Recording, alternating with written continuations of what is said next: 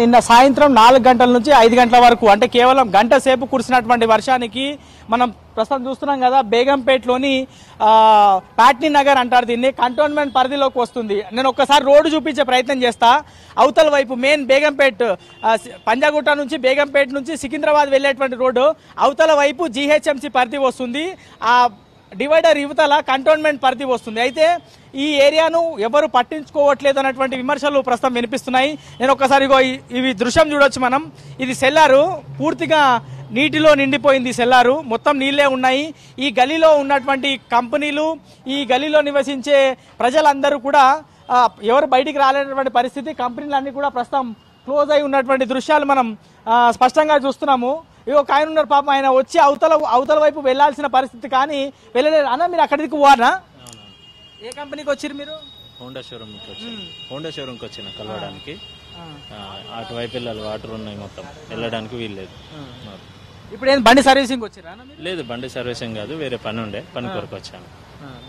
మొత్తం చాలా గిన్నెయానం నీళ్ళు ఉన్నాయి. ఏడా నాగున్నాయి అన్న? ఇంకా చూసినావా నీళ్ళు ఇట్లా? ఇట్లా పరిస్థితి? నేను చూడలేదు ఇటువైపు వచ్చినప్పుడు. మార్నింగ్ నుంచి ఇప్పుడు వచ్చాను. వాటర్ ఆగున్నాయి ఆడ. వెళ్ళడానికి అసలే వీలవ్వట్లే. ఇది లోపల ఒక రెండు మూడు కంపెనీలు ఉన్నాయి ఒక రెండు కాలనీలు ఉన్నాయి అనేది ఇక్కడ ఉన్నటువంటి స్థానికులు చెప్తున్నారు. దృశ్యం చూడవచ్చు చాలా భయంకరంగానే ఉందని చెప్పుకోవచ్చు. దాదాపుగా ఇగో ఈ బిల్డింగ్ పెద్ద బిల్డింగ్ ఇది. ఈ ఇంట్లో నుంచి కనీసం ఎవరు బయటికి రాలేనటువంటి పరిస్థితి ఇక్కడ నెలకొంది. మొత్తము నీటిలోనే ఉందని చెప్పుకోవచ్చు. అయితే ఇక్కడ స్థానికులతో మనం మాట్లాడే ప్రయత్నం చేసినాము.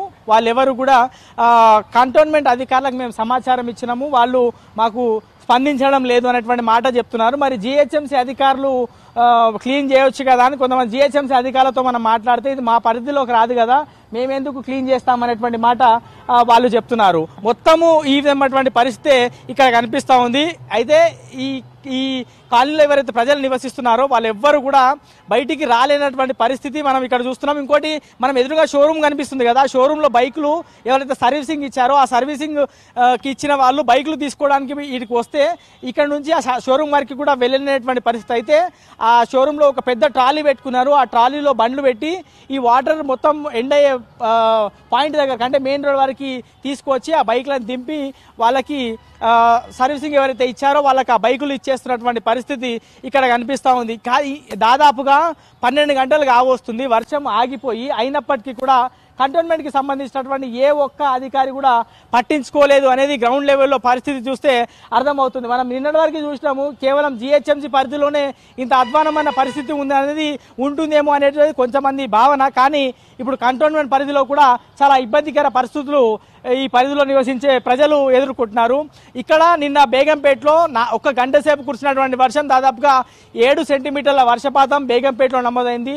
బేగంపేట దాని తర్వాత పాట్ని రసూల్పుర దాంతోపాటు ప్రకాష్ నగర్ బ్రహ్మాన్వాడి మయూరిమాగ్ ఈ ఏరియాలో నాలుగు ఐదు సెంటీమీటర్ల వర్షపాతం నమోదైంది. సో ఓవరాల్గా అయితే చాలా ఇబ్బందికర పరిస్థితులు అయితే ఇక్కడ ఉన్నటువంటి ప్రజలు ఎదుర్కొంటున్నారు. కంపెనీలతో పాటు ప్రజలు ఎవరైతే ఈ కాలనీలో నివసిస్తున్నారో వాళ్ళెవరు కూడా బయటికి రాలేనటువంటి పరిస్థితి ప్రస్తుతం ఇక్కడ కనిపిస్తా ఉంది. మరి జే- కంటోన్మెంట్కి సంబంధించినటువంటి అధికారులు ఇప్పటికైనా పట్టించుకోవాల్సిన అవసరం ఉంది. మేము ఎన్నిసార్లు ఫిర్యాదు చేసినా ఎందుకు పట్టించుకోవట్లేదు అనేటువంటి విమర్శలు ఇక్కడ ఉన్నటువంటి స్థానికులు చేస్తున్నారు. మరి చూడాలి కంటోన్మెంట్ అధికారులు ఇప్పటికైనా దీనిపైన స్పందిస్తారా? వచ్చి వాటర్ క్లియర్ చేసేటువంటి ప్రయత్నం చేస్తారు? అన్నది వేచి చూడాలి Aparna. Right thank you Shravan